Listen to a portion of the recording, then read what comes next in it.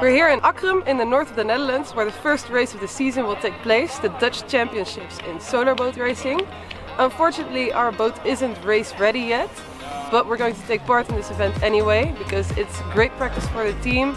Uh, it's good to see our competitors for the first time, it's a good atmosphere and it's a very sunny weekend.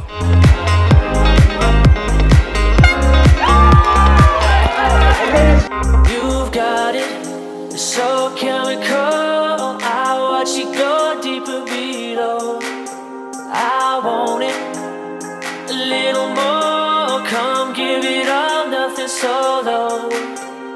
Seasons grow, something I know. We just need to make it. Well, good afternoon again in this sunny Akkrum. Today we did our first race tryout experience.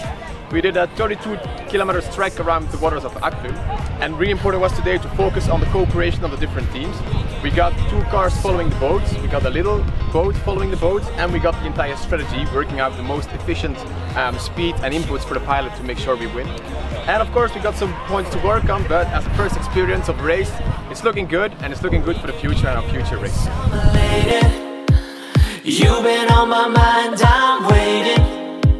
The moment you arrive, yeah, we